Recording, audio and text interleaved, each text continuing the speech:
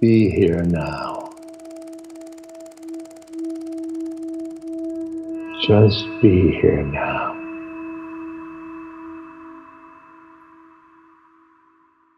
When we feel more connected to the soul, we might actually feel more connected to our family, to community, to nature, to God. Because what is the soul if not this piece of shared divinity that's sort of been fractalized throughout every sort of human you know, individual being? Welcome to the Be Here Now guest podcast. This series features a collection of teachings and conversations centered around mindfulness, spiritual growth, and living a life in balance. Each week, our diverse network of guest teachers and hosts offer up wisdom and practices from a different spiritual path and perspective. If you'd like to support the podcast, please visit BeHereNowNetwork.com slash donate. Welcome, everyone to another Ram Dass Fellowship live stream. Here we are. We're having interesting conversations with wisdom keepers of our time as we deepen into topics that were near and dear to Ram Dass's heart. I'm Jacqueline Dobrinska. I'm the community, I'm the director of community outreach and education for the Love Serve Remember Foundation. And all of you here, you are the Ram Dass Satsang, that sacred community that's made up of folks from all over the world and we come together in various ways each month, including the, these live streams, to feed our hearts and our minds and our souls and to remember the deeper truths because they can be so easy to forget in these times. And to dig deeper into the teachings of Ram Dass and Neem Karoli Baba. So tonight, very excited to be here with Madison Margolin. Uh, we're going to be talking about psychedelics, mysticism, and religion. I'm just going to give you a quick outline of how tonight will work in case you haven't been here before. It'll be about 75 minutes. The first half will be Madison talking about these topics, and then the second half is an audience Q&A. Um, the way that we do this is that at any point during this evening, you can type into the chat any of your questions. We have the lovely Gina on the back end who's watching all of those streams, and she'll feed me the questions, and then I'll ask them to Madison. Uh, we'll try to answer as many as we can. So I just invite you all now to settle into your space, to sort of get out of the momentum of your day and just take a couple of nice, big, deep cleansing breaths. And feel into your body, feel your toes, and your fingers, and feel this field of people around the world who are connected to these teachings, connected to this wisdom. All of those hearts like lights that create a web of connection. That loving awareness moving through those connections and in each of our hearts. And as we breathe into that space together, we will welcome Madison. Um, if you don't know her, she has a long history with Ram Dass and his teachings, having grown up in the Maharaji Satsang, where Ram Dass was a close family friend of her father, Bruce, who was a criminal defense lawyer. He represented Timothy Leary and campaigned to legalize cannabis.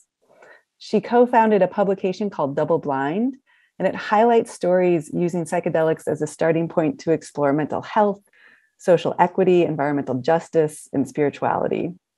And she's written for Rolling Stones and Playboy and Vice and others. Um, she is also the host of Set and Setting, which is a new podcast on the Be Here Now network. So, from our loving, present hearts, let's all shine a warm welcome through the ethers to Madison um, as she shares about psychedelics, mysticism, and religion. Welcome, Madison. So glad you're here. Yeah, thank you for having me. Um, yeah, this is really a special opportunity and just means so much to me, like from my heart. Like like you said in the bio, kind of that I grew up with Ram Dass. Um, really would never have thought that I'd be participating in any sort of Be Here Now network um, activities. So yeah, I just first of all I want to thank Jackie, Raghu, um, Corey, more people at the Be Here Now network, and Love Serve Remember um, who just been really supportive um, the past few months um, when I launched Set and Setting podcast, and also gave me the opportunity to present here today. Um, and so, yeah, I want to say that it, it, feels a little bit ironic, um, especially because there was a time in my life where I sort of rebelled against Ram Dass. Um, you know, being that Be Here Now was such sort of a household staple where I grew up. Um, a lot of my life, I wasn't really here and now. I struggled to be present. I dissociated. Um, so it's been really a personal practice, um, both religiously, psychedelically, and I'll, I'll get into it. Um, so most people have stories about discovering Ram Dass and his work, you know, how he opened them up to enlightenment, um, brought them to tears in his presence, inspired them to embark on a path of mindfulness.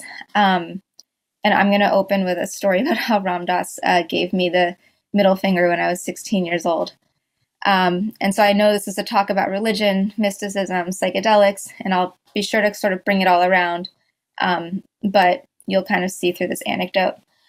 So this was a family trip. Um, my mom brought me and my younger brother to Hawaii on one of these sort of well-intentioned but miserable, chaotic uh, family excursions together, and everyone was fighting, and I was going through a phase where I would scratch my face with my middle finger, and um, that would be my way of being rude to my mother, um, one upping her or whatever.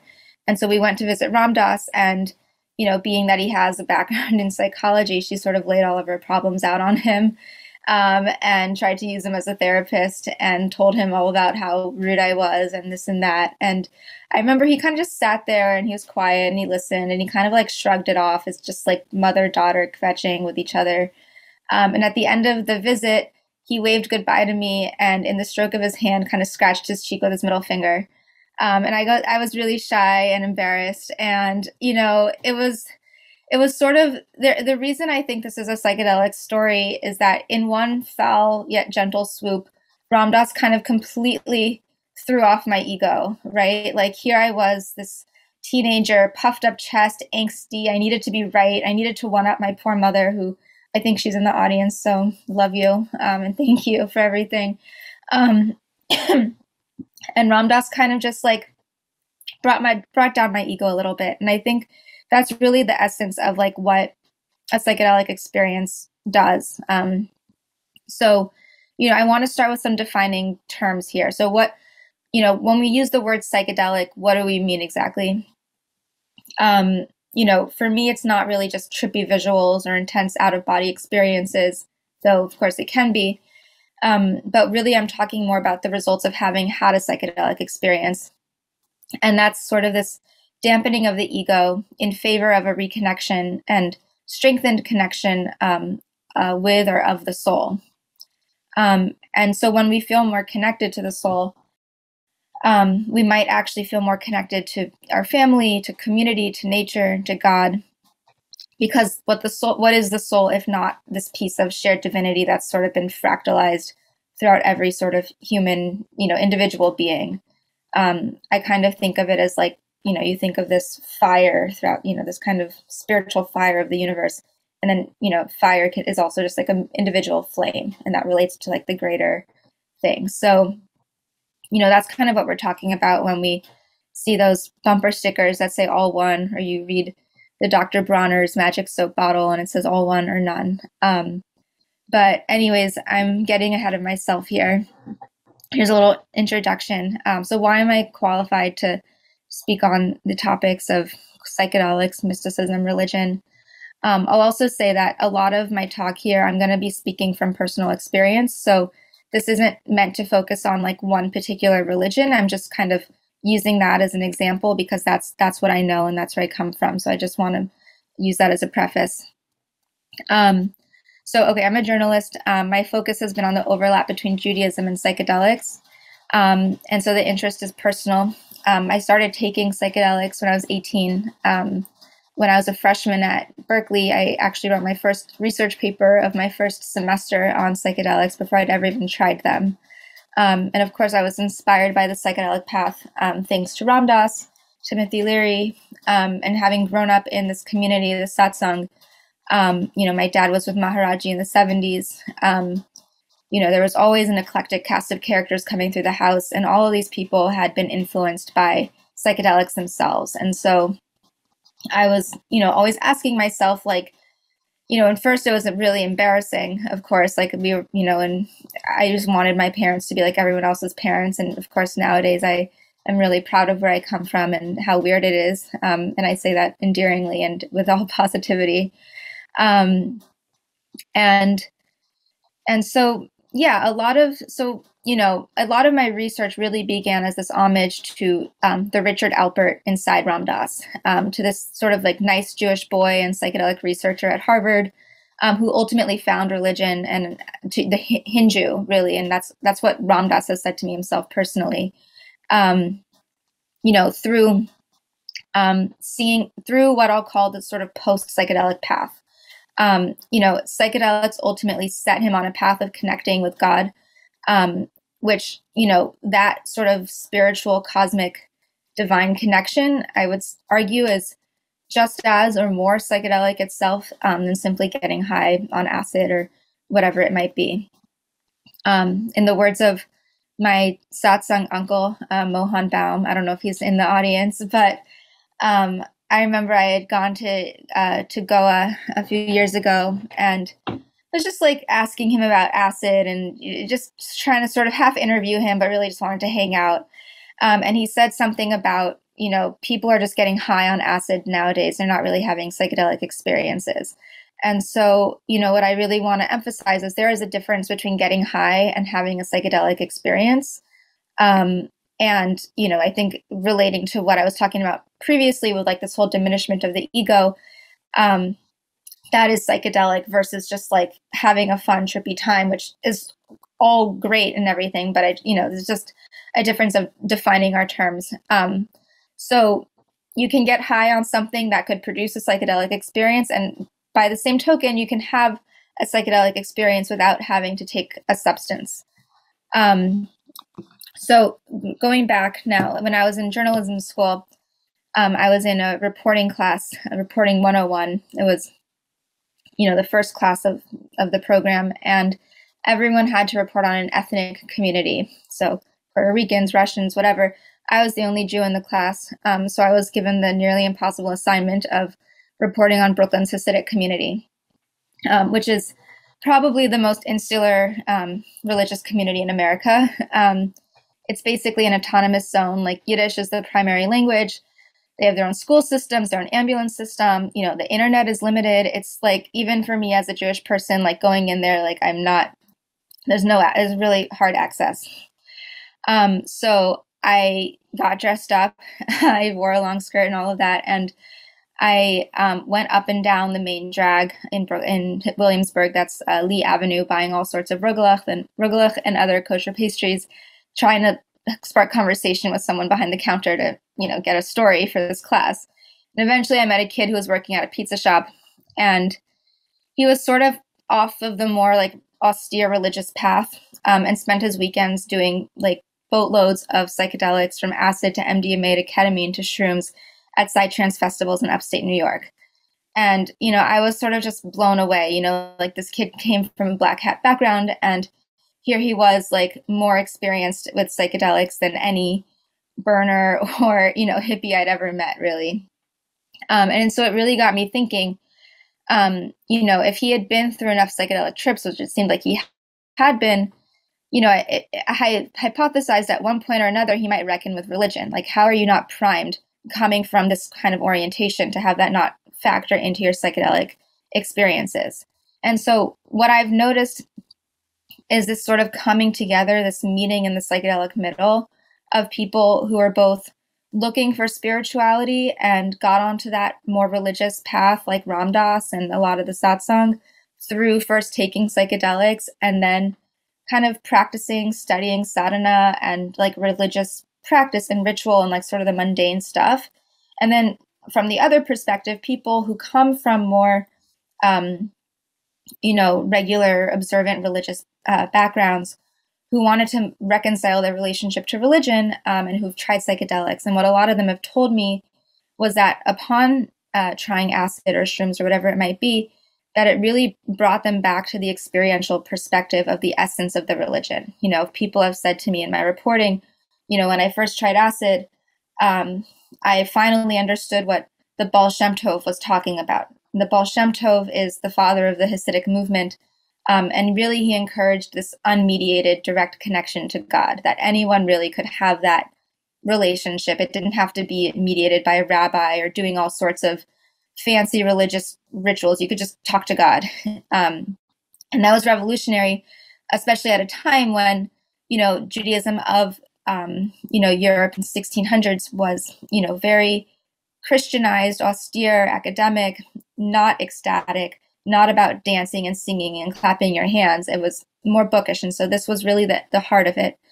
Um, and, you know, again, a lot of Jewish practice at the time was sort of divorced from its shamanic earth-based roots that are more akin to an indigenous tribal tradition than, you know, the form of religion that we're potentially more familiar with today. So again, I'm just saying this because of these are exemplary purposes. Um, but another thing that this causes, the reason um, we ended up with this form of religion, of the way Judaism looks or looked, um, was because of anti-Semitism, um, which all, all, this persecution really forced a type of assimilation and a suppression of the more kind of woo-woo practices that would have kind of gotten people in trouble. Um, so that in an effort to survive, uh, the religion had changed shape. So the reason I say this is because there's no way to talk about psychedelic healing without mentioning trauma. And so it can be, you know, when we talk about trauma, we talk about both the experiences that we've had in our own bodies and also coming from a genetic lineage. And so the whole concept of epigenetics is that um, the experiences of our ancestors don't change the DNA itself, but they can change the way the DNA the DNA functions. So, um, and that could come off as you know hypervigilance or anxiety or you know an inability to sort of stay in one place for too long or whatever it might be. And this is you know across all sorts of ethnic groups. And really everyone everyone in the world i'm sure has some sort of inherited trauma and lived lived experience trauma. But you know jewish african american native american stuff like that. And you know one might argue also that trauma is at the root of other ailments too whether that's anxiety depression and physical or somatic conditions um, so okay why are psychedelics so healing um, you know, I personally believe that they're they serve the very necessary role of blurring the lines between the medicinal and the spiritual, the recreational and the therapeutic. Um, so I want to just take a moment to orient the audience um, who might be less familiar with where we're at in the psychedelic renaissance today, quote unquote.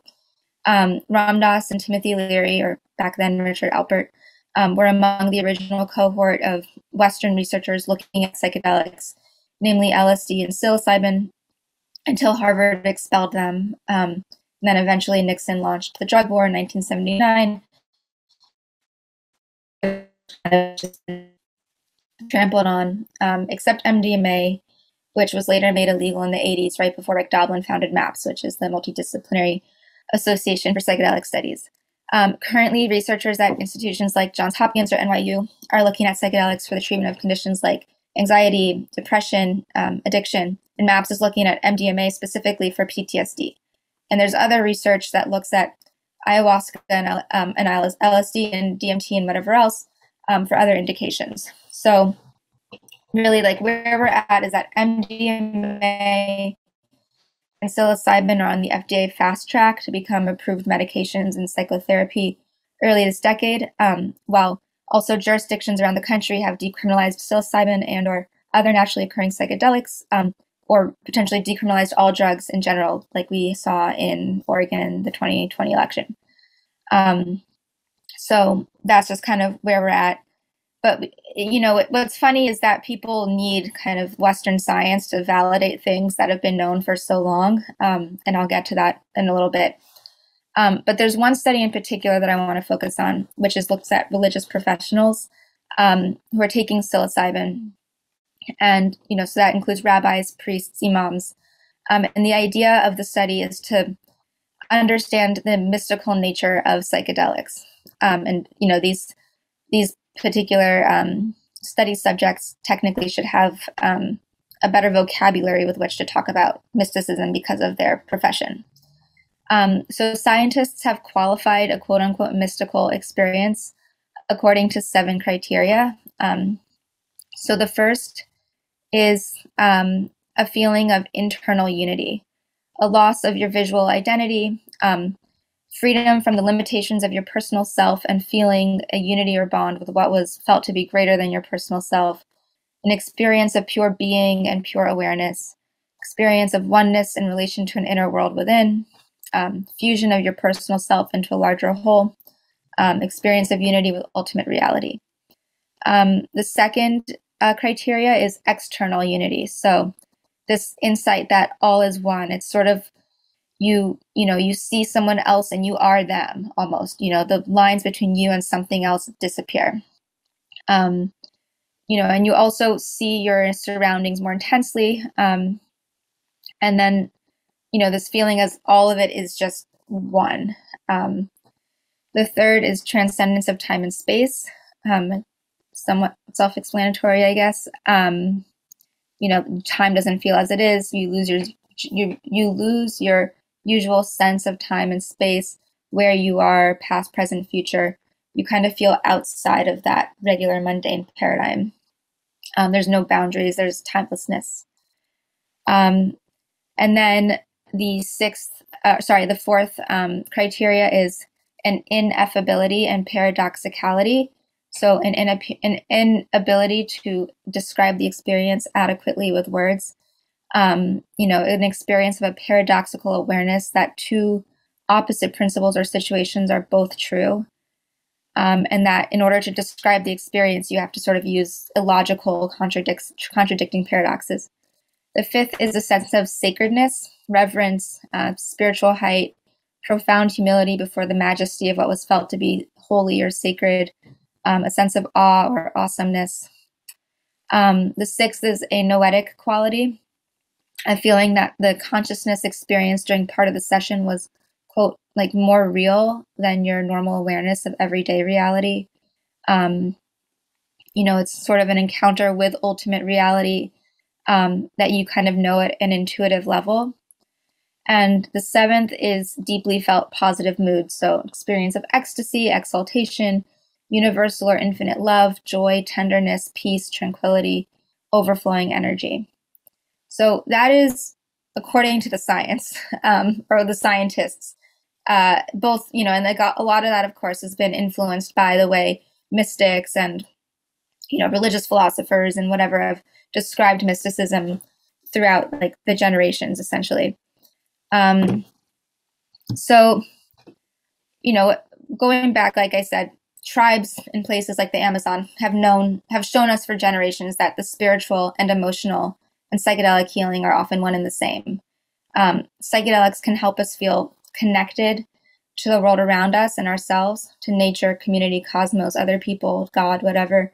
And it's the feeling of connection, of being held in a cradle of the universe, that puts us into the parasympathetic state of the nervous system, um, which is the opposite of the sympathetic state of the nervous system. So in para, you're in a state of rest and relaxation and repair, which is literally healthy for you, which is the mechanism that which you're going to heal from both physical issues as well as you know mental and emotional. Um, whereas sympathetic is you know fight or flight. It's kind of the the trauma state. Um, I also want to point out that psychedelics don't always put us in para, but they can, of course, um, as can meditation, dance, yoga, sex, prayer, you know, all these other modalities. Um, which are just kind of ways of connecting to the soul, I would say. Um, if you want to learn more about this, I highly recommend Julie Holland's book, Good Chemistry The Science of Connection from Soul to Psychedelics. She's just an incredible um, psychedelic, uh, uh, psychedelic pro psychedelic psych- psychiatrist.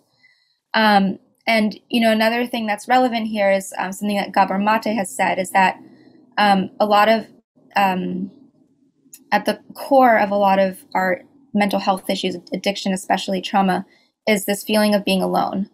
Um, and so when we're kind of more connected to mysticism, we're, we we are never alone, right? Like if if God is in the room, and I don't want to use the word God because not everyone believes or that's that's not the language that you want to hear, but you know, there's this feeling of connection to everything else, and so that sort of alleviates this feeling of isolation and lonesomeness.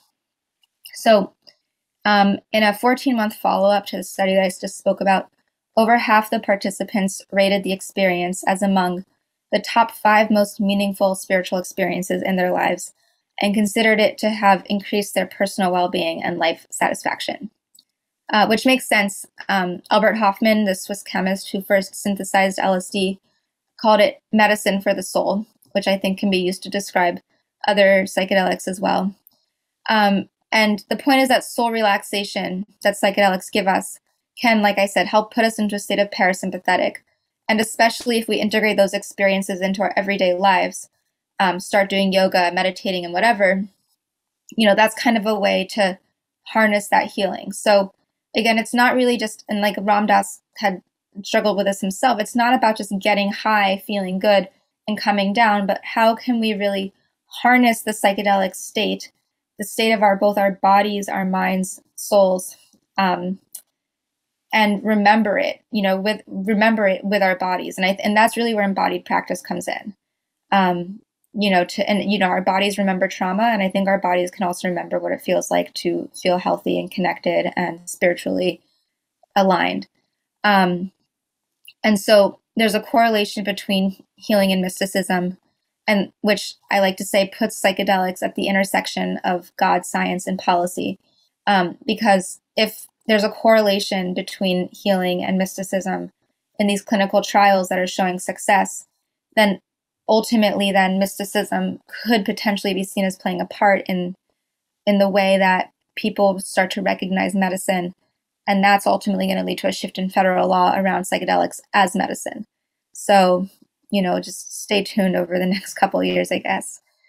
Um, when we talk about mysticism, um, we're also talking about what you know Aldous Huxley referred to a lot, which was perennialism. Um, and again, this isn't necessarily psychedelic, um, engendered by psychedelic or not, um, but it's the idea that at the core of all religions, the core of all religions is the same. You know, you kind of get to this post-religious, trans-religious experience, and it's just sort of that oneness that we talked about, this kind of shared feeling of mysticism or me- metaphysical truth or origin.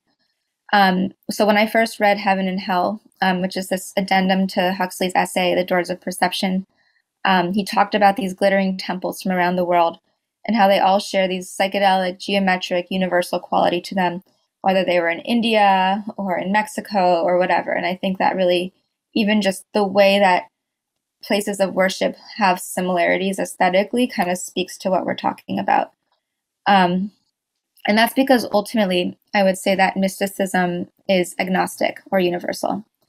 Um, according to the research of Rick Strassman, who was the first person to get FDA approval to study DMT, um, which is also the main uh, component of ayahuasca, or the main psychoactive component in ayahuasca, um, people, humans, have an innate and unique capacity to communicate with the divine, um, with you know with a collective or universal consciousness that sort of permeates the world.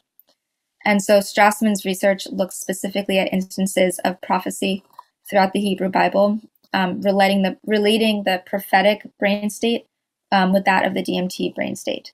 Um, and if I had time, I would go into how DMT was actually part of the early Hebrew tribal tradition and was integral to certain rituals and practices um, and again, that relates to sort of how Judaism started out as this earth based tradition with attention paid to the four directions and the winds and the lunar calendar and the agricultural seasons. And that was the essence of the religion more than like, you know, everything that developed after that.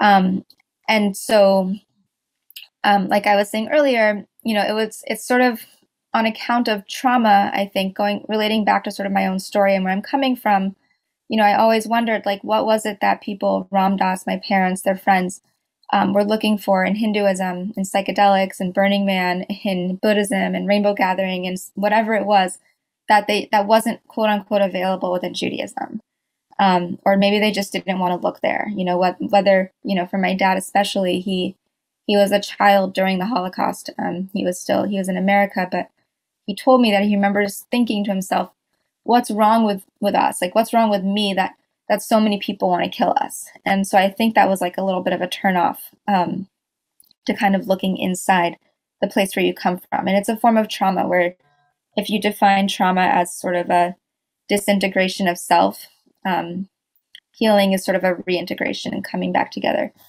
So, what I ultimately want to get to though is when we talk about like Hinduism or any sort of um, looking into another religion to find that that spiritual core, that that is perennialism, and I think that's really what what this kind of community speaks to is that so many people were able to really turn on, you know, tune on, tune in, turn on. You know, Timothy Leary was tune on, tune in, turn on, drop out, but really they were like through all of these different religious paths, they were really getting to that core one place of oneness. Um, and for me, um, you know, what led me, what led me to psychedelics and back again, um, was sort of my own um, relationship to trying to like navigate these different religious paths that were in front of me um, and not really knowing how to make sense of them. And I was doing yoga, and, and really what I found to be the most spiritual moments in my life, um, at least up until college time, was yoga and jogging. Um, and I remember when I was writing my essays um, for college admissions and like describing why these things were important to me, it was that I had been struggling with a pretty bad eating disorder. And, you know, what yoga and jogging gave me um, was this focus on the breath. And so, you know, what, you know, an eating disorder is almost like this dissociation. You kind of starve yourself out of yourself. You don't feel your body. And the breath brings you back into yourself. Um, and you're sort of transcending a lot of like the drama and the mishigas of what you what you're dealing with, but um, it's both embodied and transcendent. Um, and so I got really into kind of understanding breath and breath as a spiritual practice. And again, this was before I got into psychedelics. It was really just seeing that everyone around me like had some sort of meditation practice, um, and how could I kind of use that for my own healing. Um, and so you know, I'll say that breath is the sort of most the most psychedelic thing of all. Um, you can get into a trip just through breath work. Uh, you can kind of breathe your way out of a, a tense moment in a psychedelic trip, a quote unquote bad trip. Um, you know, when people are having babies or like, just breathe, you know, you go you go through the breath one at a time. And breathing itself, I like to say, is sort of this reciprocal intercourse with God. Um, it's a giving and a receiving relationship. You know, you breathe, you breathe in and you give back. Um, so, and in Hebrew, um, you might be familiar with the tetragrammaton, the Yud He Vav He, um, and those four letters. This, this is a name for God, Adonai. Um, the four letters are meant to pronounce the sound of a breath. Um, and relating it back also to um, Hinduism and Maharaji, who was a devotee of Hanuman or kind of embodied Hanuman in and of himself. Um, Hanuman, who was a messenger, um, the flying monkey, um, was said to be the breath of God, uh, the breath of Ram. And so that was really kind of kindled my heart to sort of hear this relationship. Um, and Hanuman himself was also of service, and that was a really big thing with Maharaji too. So, um, you know, when I, when we talk about meditation and breath work and you know enlightenment and getting high it's like to what end? To what point? Like who cares? You know like are we actually going to make the world a better place by sitting on our meditation cushions and just you know like meditating our way out of war and fascism and all that's going on in the world? Um and so i'll, I'll say i'll say this. Um first of all like when we do have a breathing practice a mindfulness practice um we can see a little bit more clearly and I think when we're we're more awake, when our eyes are more open, um, then we're we're seeing out both we're we're working on ourselves and then we're also seeing outside ourselves. And when we're seeing outside ourselves, we see everything in the world that needs to be fixed. And then we therefore have a responsibility to work on that. Um, so, you know, I'll say also that exhalation, especially, um, activates the, the vagus nerve. And so, you know, that's again something that is related to the parasympath to the whole nervous system and activating parasympathetic state. And so we're kind of healing ourselves and then with the ability to kind of see out out of ourselves and, and sort of heal the world. So there's a kind of um, relationship between individual and collective healing. Um, so I'll give a little bit of a story um, related to sort of Maharaji's own ethic of service. Uh, my dad, when he went to India, you know, he had retired from his law practice. He had been really successful. He was only 29 years old. And I think he was just ready to sort of be a hippie for the rest of his life and stay in India. And um, Maharaji said no and sent him back to America. And he said, "You have a boon. You have a skill, and you it would you have a responsibility to be of service and to use that." And so I, the way I see it is that you would be kind of spitting on God's gifts, on what God gave you, to not utilize it in, in, in service. So, going back to sort of the psychedelic story here, um, what is the point of psychedelics, of tripping, if not to live a psychedelic life that kind of integrates um, the ethics, the values of psychedelics themselves, um, in a you know a life that sort of enables you to become more you, to kind of act that out in the world, to be your fullest self. And I really think that when we are our fullest selves, which psychedelics can help us become, and that really means when we're most in touch with our souls, um, it means that it's not even really about ourselves. It's outside the self. It's outside the ego. It's of the soul. And once we're able to really connect with that soul place, it engenders a sense of empathy. We talked about that a little bit in the mystical experience um, criteria. And it's through that that we can then be motivated, inspired to be of service, um, to do seva, so to speak. Um, and so I, I'd say that's also where the um, moral implication of religion comes in. So, you know, when we talk about how can we honor the divine or connect to the divine through psychedelics or through religion, I'll say that religion is a mindfulness practice and at, at its core and at its best. Um, it's an opportunity to create a container through sacred time and ritual. And it's within that um, that spir- spirituality might occur. So we need sort of the grounded ritualistic elements, um, or at least practices and disciplines, in order to reach these spiritual heights. The framework um, that is the container. Um, I'll say it's even a set and setting. Um, but religion itself is not religion is not a spiritual path in and of itself and likewise spirituality psychedelic or otherwise um, without a framework could be dangerous or lofty or without rigor um, and lack an ethical core that brings it down into reality into actionable items that allow us to use that spirituality to inspire us to make the world again like a better place and so which I think honestly doing that sort of service, seva, tikkun olam, whatever the word you want to use, um, is a way of is an expression of honoring God or the divine or simply the connection and shared oneness with other living things, be it the people or nature or planet around us. So I guess that's what I want to end on is just at the core of psychedelics, religion, mysticism is really a code of ethics. Um, I'd say a perennial ethic um, that I want to sort of leave as the um, as the ending point here. So thank you, and I'm excited for the questions. Wow, thank you, Madison. That uh, I have so many things percolating in me that I want to talk to you about, um, and I just so brilliantly tied together these different pieces uh, and so much wisdom. So thank you um, for bringing that to us to, this evening. Yeah. So for those of the you watching, um, please type any questions that you have into your chat, and then uh, or um, Gina will get them to me, and I can ask Madison.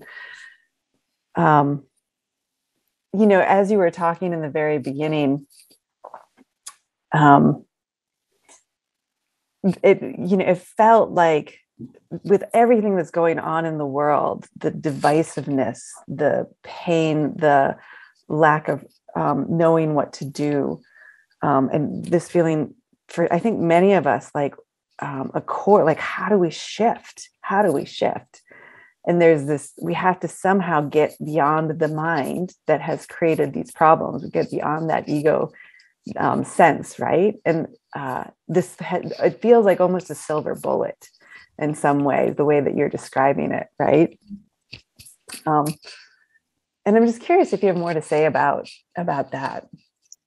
Yeah, I mean, I've I've seen like memes online or or stuff that says like you can't get out of a problem with the same mentality that got you into the problem, mm-hmm. and I think that's sort of the beauty of psychedelic thinking is there are no there are no boundaries to it. Um, and it, you know, by the very virtue of what it does in the brain, neurogenesis, it's forming new connections all the time. Um, so I think it's really a consciousness shift and a paradigm shift. And you know, I and that sounds so simplistic, you know. It's like we just need a paradigm shift and like the war will stop.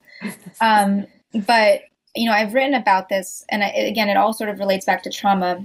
Mm. Um, I did a story on the role of PTSD in the Israel-Palestine conflict and how that um, basically the, this sort of perpetuation and clinging on to the traumatized narratives that then um, both uh, other like create this othering of both sides of all sides um, and then it, it, really like different parts of the brain and i wish i had the science in front of me but like especially for people who are 18 years old going to to war and the idea for you know getting active politically mm-hmm. you know in the west bank and gaza like the, those your, your brain at the at the age of 18 approximately is very malleable and um basically what i would love to see is that you know I don't think everyone is going to have access to psychedelics, obviously, or psychedelic healing. But I do think that we can take the values and the ethos of psychedelics and apply it to real world therapeutic techniques um, that can sort of work on on the the points of trauma that are behind and um, fueling the current political paradigms that we're in. Yeah, yeah. There's a this saying, and I, it it can be used um, sort of thrown at people um, in a negative way, but I think really there's this compassionate thing of like when we're hurt, we hurt others. And when we're, we've been abused, we often end up abusing others. Yeah. Um, and this, what? Go ahead. go ahead. Go ahead. Oh, no. I mean, I just, you know, like, I just want to say, like, it, it has real world implications in the way we vote, um, you know, in the literal action, in the actions that we take. And so, yeah, what you're saying is like there is this kind of pattern of the, the oppressed becoming the oppressors yeah. Um, and this idea that that you're bringing up and i you know i read about this and how to change your mind right which i think is a lot of people have read is that that idea of the grooves that get put down in your brain um, the pathways um, and when you're like as you're older um, they're more set in that the taking a psychedelic is like um, fresh snow so that the down on the so the tracks you can make new tracks. And i love that as an analogy um, so it's yes. easier to change your mind. But I also love how you bring up this idea of um, of you know not everyone's going to have access to psychedelics, and not everybody it's not everybody's medicines potentially, and this idea of breath. Um, and you know what came to mind was roha, um, ruha, right, which is the word for breath, which can be translated at, you know like as breath or holy spirit or gravity or force or wind which was the hanuman right? The breath of the um, and so i just love this idea that the breath has this power to be really psychedelic as well mm-hmm. um, and to change our minds to change our nervous systems um, to, and to change the way we interact with each other. Um, it just is such a powerful thing uh, and just learning how to breathe again just learning how to breathe again can change so much including um, how the uh, vagal nerve is mm-hmm. engaged. So do you either like i know there's shamanic breath work and holotropic breath work and then there's just like plain old learning pure breath like a pure do you have as far as the healing qualities versus the psychedelic qualities anything else you want to say about how like, the breath can be used? Yeah. I mean, I you know, I've guess I've struggled with with it a lot. You know, I, as a kid, I had like even childhood asthma, and then I mm. I joined like a cross country team, and I didn't think I could do it because of I just didn't think I had the stamina for it. Um, and I mean, I just what the technique that I've used, um, which is super basic. It was I was in a five meo. Um, five meo DMT is like a very intense form of DMT. I was being yeah the toad. Yeah, yeah. I was being guided, and was freaking out. Um, even like you're like not even there, you're not in yourself. And the guides were teaching me how to re- reteaching me how to breathe. Um, and the technique that we used was like three breaths in at the stomach. So really feel your stomach kind of go up and down, and then do it from the chest. Mm-hmm. So ch- like chest breathing and stomach breathing is a little bit different, I would say. Um, I also learned and this and again this is all sort of my experiential learning like i've i've read about it in different books and stuff but i've, I've learned also where you in india this um, priest Oh, taught you like cover all of the holes Yeah. in your Your face ears, your nose, your above your lip, below your Yeah. lip. Oh, your eyes. Sorry, your eyes, your nose, above your lip, below your nose. Yeah. exactly yeah and i think it's like through that um sort of like nullification um is again another you know another component of it um so yeah i mean I, I i guess i have a lot more to say on it but i don't want to get too complicated yeah There's one of the practices that has changed my life as far as turning on the parasympathetic nervous Mhm. system. Like done a ton of holotropic breath breath work, but and it can get to these crazy psychedelic um, experiences. But the one that's actually integrated and changed my life the most is to lay on my belly for 12 minutes in the morning and 12 minutes at night Hmm. and just do a like a full inhale and exhale where they're equal on both sides and they sort of melt into each other. If I do that, like my whole brain changes. It's just like Wow. I'm, I'm more present. It's because the parasympathetic nervous system. where did you on. learn that that belly breath technique Um, I learned it through the uh, Himalayan Institute and um, Mhm. and Rod Stryker. well So yeah, but it's really um, the Himalayan Institute has a lot on breath too. mhm. Um, so what else did I want to ask you? There's so there's some questions that are coming in. Um, can you talk about the different qualities, experiences, medical or spiritual healing that may be engendered by each of the psychedelics? Like which psychedelic is good for? what indication Yeah. So, okay, so right now, MDMA is being studied. First of all, I'll say that any psychedelic could probably be used for any kind of indication, and it's extremely subjective Mm. um, and depends like on the set and setting, if there's a guide, what the intention is, like all of that. So I'll just point that out. Um, and they're often used for the same things or different things or whatever. But what they're being studied for, MDMA specifically, um, is being studied for PTSD.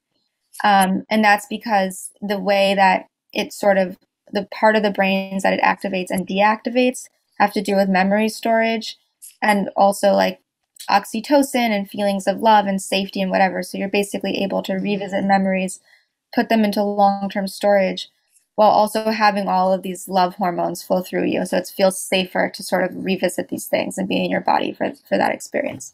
Um, uh, psilocybin has been um, approved, you know, FDA approved studies are looking at psilocybin for depression. Um, and, you know, in other trials, it's also looking at um, anxiety, addiction. The psilocybin, I would say, really is the most um, popular right now in all of the psychedelic research.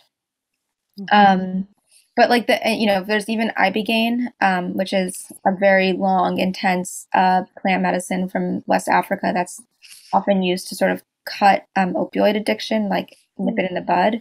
So you go through like a very intense ibogaine um, trial and then have an integration, and a lot of people are able to sort of stay, um, you know, stay with having broken off that cycle.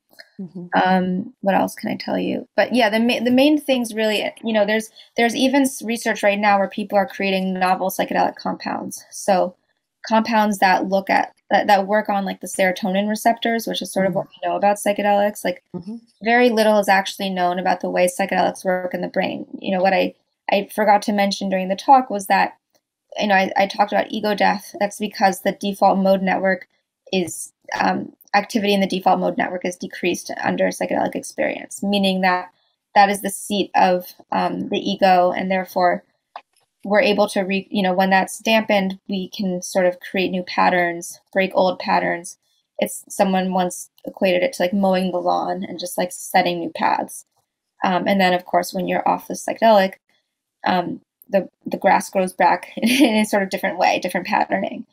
Um, uh, what else can I tell you? Um, so you know, I yeah. Um, also, okay. So these novel psychedelic compounds, um, people are using them especially or looking at them especially um, for the treatment of physical um, ailments. Mm. So pain relief, things like that. Again, it's really yeah. I encourage you to visit DoubleBlind. Um, it's my magazine just because there's there's so much going on. It's almost it's impossible to keep track, but we we do our best. So great. that's great. Yeah. So. I'm curious um, with psilocybin and a lot of the you know your thoughts on microdosing versus megadoses. Yeah. Um, okay, so it's funny. Like you talk to sort of the old, the heads, the old heads, and they're like, microdosing just means you didn't take enough.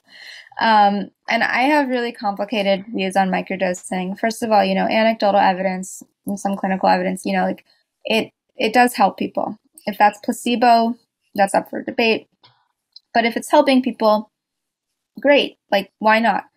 Um, I guess what concerns me is that you know, we've heard about this whole like microdosing phenomenon in Silicon Valley and how microdosing just like helps you be better at um, capitalism. And mm it's mm-hmm. like, well, isn't that missing the point a little bit?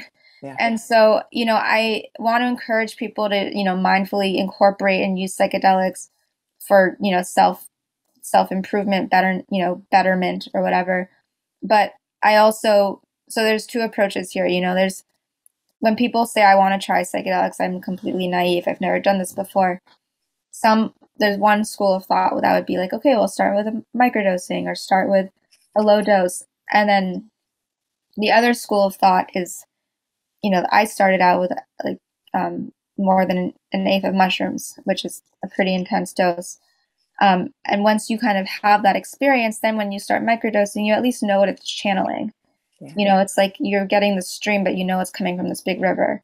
And again, that's that's really the opportunity to sort of paradigm shift, so to speak. Um, you know, I I like to say that microdosing is basically like the CBD of psychedelics. Like, can you say you've tried weed that you've gotten high on cannabis if you've just tried CBD? No, but it has its benefits for sure. So, yeah, I like that. I like the the stream analogy as well. That's yeah. very helpful. Um, would you talk also a little bit more about uh, set and setting and having guides versus not having guides and um, yeah, that so, that aspect of it? So yeah, so for those who don't know, set and setting is this term actually that uh, Alpert and Leary and others at Harvard um, developed, in that it's the idea that you um, there's both your mental state going into a psychedelic trip, and then of course your environment and your surroundings. Um, and so this is going to determine your trip. Um, you know, a psychedelic, all it really does is magnifies what's already going on. So if you're going and you know, I I used to have this feeling that that um you know, I had to be like in this perfect mental state in order to take psychedelics because like I didn't want to to deal I didn't want stuff to come up that was going to be uncomfortable. And then the more I studied it and researched it, I said, well, isn't that also part of the point? Like, you know, people are going into it with really intense depression and anxiety, trying to work on that. So I think really what's integral as much as set and setting is really your intention. Um, what are you trying to get out of it? Um, you know, partially when you talk about working with a guide or not working with a guide, especially for um, either like people who are newer to psychedelics or somebody who wants to go really deep.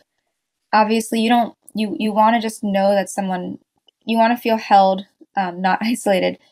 Have someone to you know quote unquote hold space for you if you need help. So I think even even if you don't actually end up needing that help knowing that support is available can com- completely alter the trip itself um, you know and then there's the question of whether you want to do it in a ceremonial setting um, or do it at a concert um, and both everything or in, with a therapist you know in a clinical trial or um, whatever it is, all are legitimate. And I really want to break down this feeling of this, this hierarchy of, mm. oh, like the Western clinics are the, the gold standard because these are Johns Hopkins scientists supervising you. And like this underground guide uh, who you met in Boulder is less, um, you know, is less legit. And that's all, that's just, that's not true. You know, like there, this is really, you know, and I saw this in cannabis, you know, as cannabis went legal, there was sort of this lack of honor for the people who really built the cannabis industry, who put their freedom and reputation and lives on the line to really get cannabis to where it was, to only then be co opted by, you know, like the sterilized, like white guys in suits, pretty much, um, making it more mainstream. And so I, psychedelics are kind of going through a similar process. So I really encourage people to like keep it weird and like lean into the weirdness so long as it feels safe and supported and, you know, just like attuned to like what you personally need. That's great. So this is it's maybe a little off topic, mm-hmm. but um, what you said just sort of led into this, like maybe it's a shadow side of the the Renaissance of, um, and there's the two things that come up as the sustainability of some of the plants that are used, as well as like these indigenous tr- uh, traditions. Mm-hmm. Um, can you talk into and you know often being taken and then um, by various people and charge lots of money and the money not going back to the the tribes can you yeah yeah talk, it's, a, it's an issue that? that's an yeah, issue yeah. um so there's this um you know this concept of like co- concept of sacred reciprocity that really my my co-founder shelby at DoubleBlind really she this is like her favorite topic one of her favorite topics. Um so i'm going to channel that a little bit.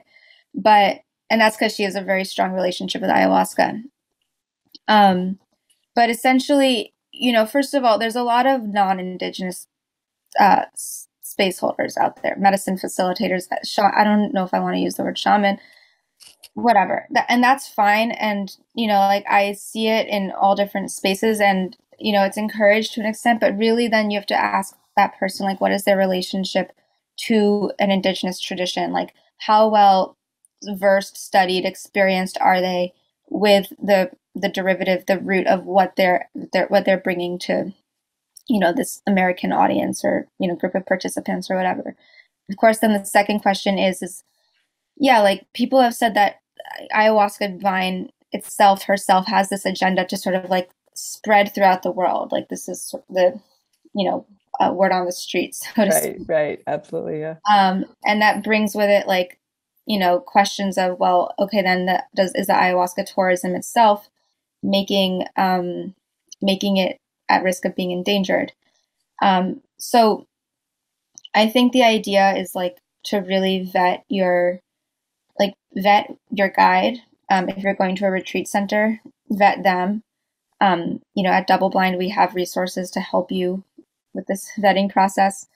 Um, to know, like, you know, are the proceeds going back to an indigenous tribe? Like, to what what is the relationship between, you know, the newcomers to the space and um, the stewards of the plant medicine itself. So I think it's really just an interrogation. But I'd say if there's no relationship whatsoever, like that is a red flag. Yeah. Yeah. Um,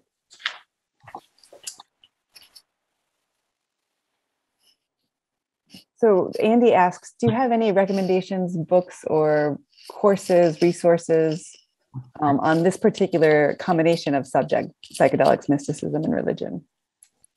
Yeah, so I'll say um, a book that's like really changing my life is called Magic of the Ordinary, mm. and it's hmm. by Gershon Winkler. Um, and it's such a psychedelic book. And I interviewed Gershon, and he's like never touched a psychedelic. So, um, so really recommend that. Um, I'm like looking at my bookshelf here. I mean, I obviously like the the classics. Like I would recommend Rick Strassman. Um, that's a really heavy read, but it's worth just like even perusing his books, just like for the like the main the main meat on the bone, so to speak. Mm-hmm. Um, what the question is for all for all of the above? Or? Yeah, for the three things that you sort of t- brilliantly brought together today. Um, yeah. Yeah. I'm I'm actually writing a book right now. So, oh, good. So yeah, that'll that'll be part of it. Um, I mean, as far as like, you know, there's another book. I mean, I don't know if he's like talking about like specifically Jewish books also, but there's a book um called The Sabbath um by Heschel, Abraham Heschel, and he oh, nice. again that's like a soup really again got me thinking about Jewish concepts, specifically Shabbat, um, as a like a psychedelic like this ultimate day of be here now almost and mm-hmm. that being a set and setting a container to have an altered experience and the way he classifies it is as this palace in time and so really gets you out of the mundane time and puts you into psychedelic time sacred psychedelic time and i've learned through my own shabbos practice to be able to discipline my mind in a way um, to sort of enter into like this Shabbat state that feels psychedelic, and that's completely mm. sober. You know, sober. Like once once I'm in, once I'm in it, I can do what I want. Um, and often, if I am going to trip, I want to do it on Shabbos because like you're already kind of in a good zone. Um, so that again is like part of the set and setting. Um, uh, but yeah, I mean, there's also like the Jew in the Lotus. Um, I should put together like a whole reading list. I'm like thinking off the top of my head and looking at my books behind me. So you've given us four so far. So yeah. I think those are that's a good start. We gave one yeah. earlier Oh, and then these. Also, three. Aldous Huxley. I know that's so basic, but reading reading him like changed my life. You know, um, same here. Island. Change, like. That was the I like it was like because one of the reasons I loved it so much is because of the integration. It was like we the the thing that came through so often is you know we do psychedelics on special occasions and the rest of the time we meditate. It's like you have a feast once in a while and the rest of the time you just eat small meals and to me that was like such a brilliant way of bringing those two things together. Yeah I, I was just gonna say island is like the story version of the doors of perception and it's like this is what like a psychedelic life utopia sort of looks like. And not everything is going to be utopia utopia but like how can we at least try to channel these practices? And island is just a beautiful story so yeah, yeah. So it actually brings me uh, back to, um, you know, I look around in communities, um, specifically a lot of the um, ayahuasca communities, and I, I almost at times it almost seems like instead of moving away from addiction, it's moving in a similar pathway of addiction. Mm. Um, and maybe that's just my outside per- perception of things um, or like a lack of integration of some of the things. Um, would you be willing to speak into that at all? Right. By addiction, do you mean just people doing it all the time and like a, like just like I guess chasing the high instead of integrating? Yeah.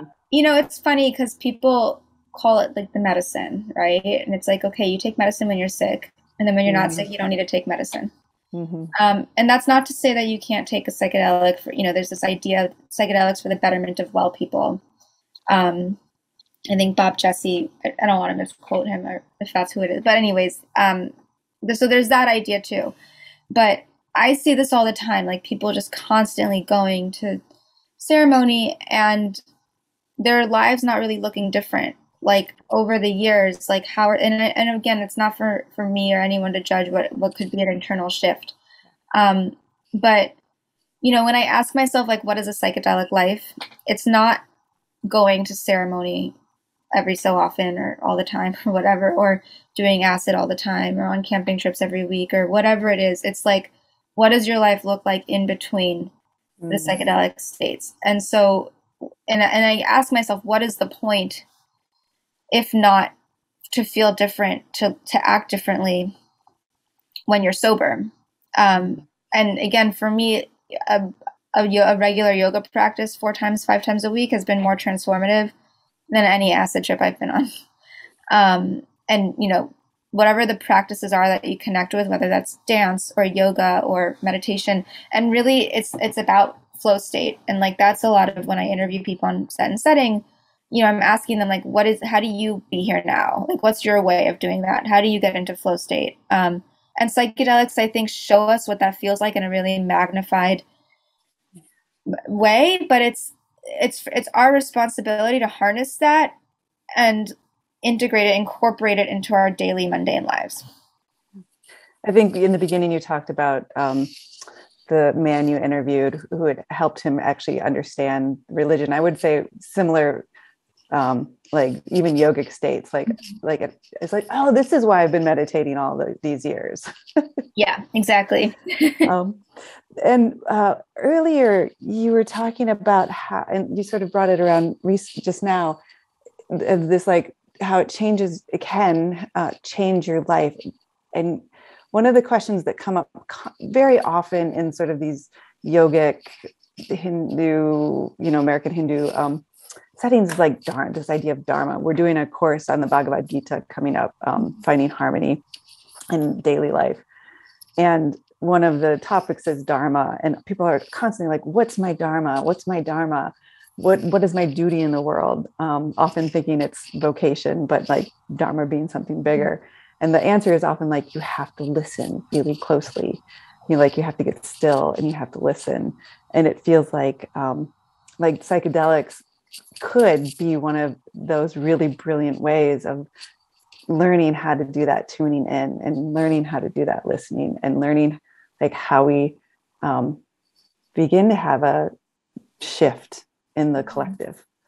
Yeah yeah i mean i i think it's really about getting in touch with your soul like really like and if, if maybe if nothing else if if used in the right set and setting like psychedelics can be a microphone for the soul. Um, mm. and the soul being like the the conductor of a dharmic path right? You know and you know, i you know in in hebrew i would use the word derech which just really means path but i feel like it means soul path. Mm. um, and it's very similar to dharma in a lot of ways. Um, and yeah i mean i I, I don't I forgot what the question is or what, what is the question exactly here but like I think ultimately like we think because of the way you know our economic system and capitalism is set up that like you're defined by the work that you do in the world. The thing that you do to make money is like who you are what you do whatever. And you know i think what what is a psychedelic life is actually bringing balance to that is like seeing your your vocation your the, your work as you know your service outside yourself but also seeing you know seeing yourself as as a parent as a sister as a friend as someone who likes to go dancing you know as mm-hmm. like someone who just can walk around in nature and so that i think is it, it's taken a lot of psychedelic work on my part to be able to value a hike as much as i value getting an entire article done. Yeah. um so and to and to put that almost at equal places in my life. And really it's it's been it's been really a lot of work and a lot of practice. Um i'm still working on it but yeah. Always right? Mm-hmm. um, we have a question from stephen that's come in and then we're going to need to wrap up here in a, in a few minutes. But um, he asks do you have any thoughts theoretical or personal on the value of music for psychedelic experiences considering your theme and thoughts on religion or meditation meditative music. Yeah wow. Okay so yes i do have thoughts. First of all where can i go? I can go in all different directions for this. Um there's an episode the first episode of set and setting is with justin boreta and the whole episode is sort of like on music and like you know music for psychedelic experience. It's number one. Number two in the psychedelic trials um, people have these playlists and oftentimes it's instrumental classical non-verbal is the point. Mm. Um, and you know, some there's actually been criticism because it's a lot of like Western classical music, and like why couldn't it be like African drumming or something like that? So, you know, I think it really depends on like what your orientation is, like um, culturally, uh, what your tastes are, whatever. That will indicate like what kind of music you want um, to be part of your experience.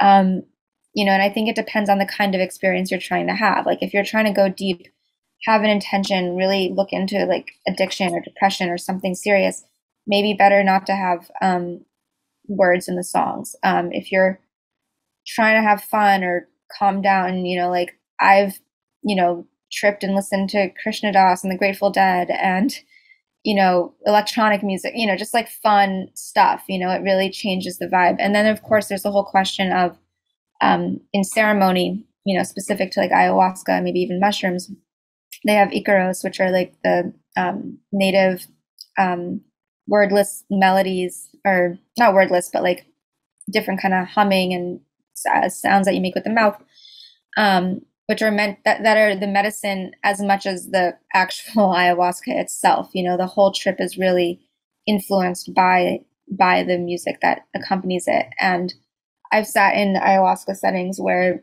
people were singing niggunim, which are sort of old um, Jewish uh, wordless melodies um, or songs, not always wordless, but kind of just um, songs of like my own ancestry. And that's been super resonant. So, um, you know, with sensitivities to sort of like cultural appropriation and kind of blending of cultural traditions between Icaros and like where you're coming from, like, I think it's both really interesting to look into like the music of your own ancestry, um, but also like the music of that you know uh, traditionally goes with the thing that you're doing um, if there is like a lineage and a stewardship of, of, around it. Yeah yeah, I love all those pieces. Um, and just a little plug, you know, John Hopkins came out with a psychedelic playlist, and there's one on there with East Forest um, who loops in some Ram Dass tracks. So, um, just FYI, little plug. yeah, I heard about that actually. Yeah. Let's see. There, uh, there's another question that came from YouTube. I've been interested in the gentle art of introducing others to the peace that can be found in the present moment. And then they ask, can you tell us more about the breathing exercises you were excited to share? Um, yeah, so the, really what transformed my relationship to wanting to really learn more about breathing, at least as an adult, um, was this. I don't know. I don't know if this technique has a name, but really, it's three breaths focused on the stomach. Like you lay down, laying down, your your legs can be bent, and like put your hands on your stomach and just three breaths in, and then three breaths in and out through the stomach, and then three breaths in and out from the chest, and do that three in a cycle of at least three times.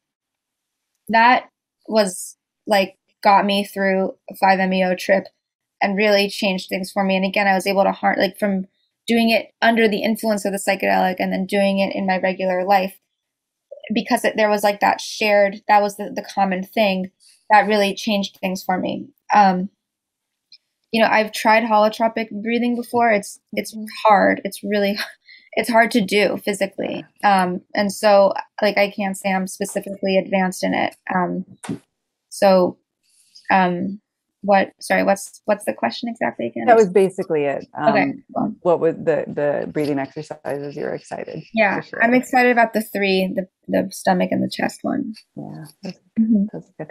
And then lastly we have the question of what's your star sign? Um i'm a gemini.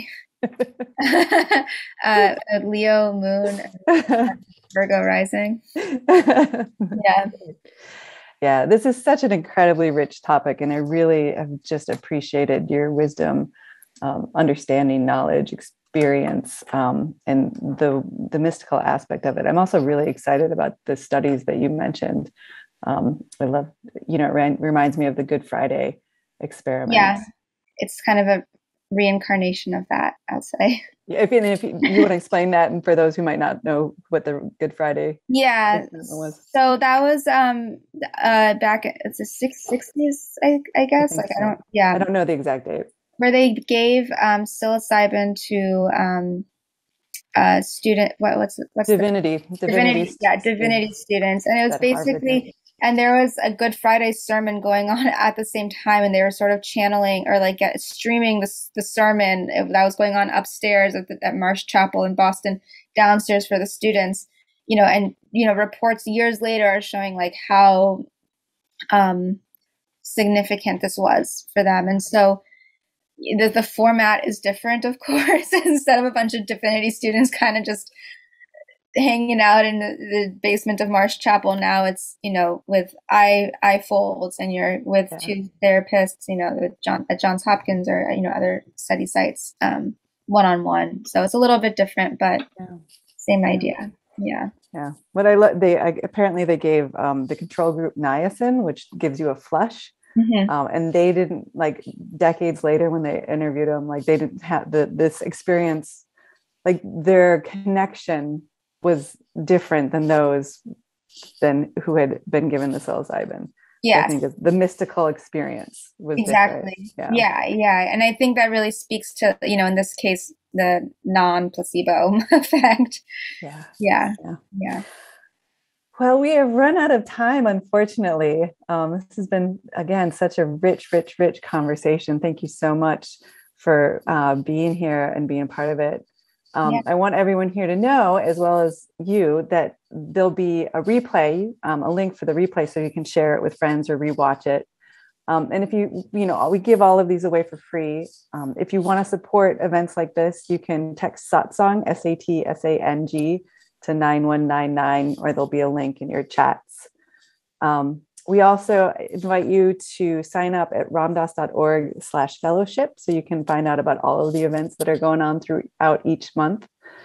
And if you're interested in that six week course on finding harmony in today's world, the mystical um, wisdom of the Bhagavad Gita, Uh, there's a few more days to sign up. So go to ramdass.org slash Gita course.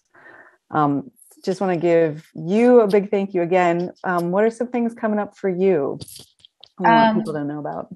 Yeah, first of all, really thank you so much for for having me here. It's just been it's been so fun even just putting this presentation together.